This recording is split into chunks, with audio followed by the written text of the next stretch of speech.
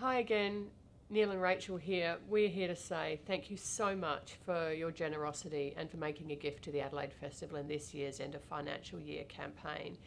It can be a time where you are inundated with requests for gifts from every kind of charity, and most of them are extremely worthwhile. We believe that the arts changes lives, and the Adelaide Festival has certainly changed our lives as young people, and in my case, as a kid growing up here. And I want those opportunities to be available for everybody. Coming to the Adelaide Festival doesn't depend on the suburb that you were born into or any of those sorts of things. It's something that is part of being in South Australia, either as a visitor or as a resident, and you've really helped make it so. Your gifts go such a long way to making our work accessible to everybody in the community, and that's really so appreciated.